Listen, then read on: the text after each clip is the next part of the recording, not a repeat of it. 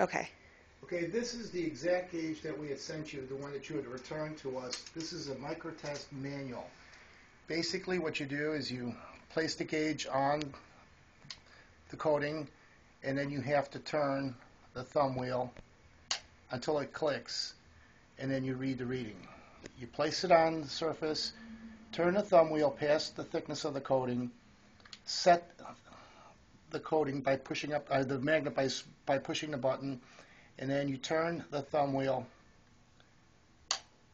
until it clicks up, and then you read your reading. Then there's another version that looks identical to it, but it's called the automatic.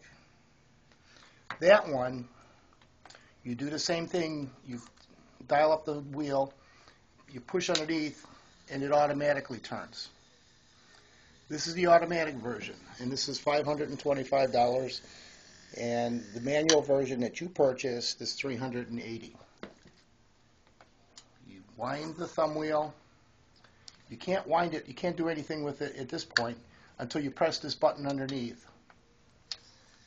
And then it automatically begins winding down.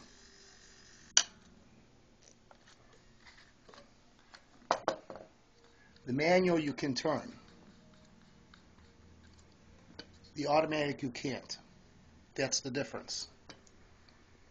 And I quoted you both uh, units, and you chose to buy the manual version, and that's the one that we sent you.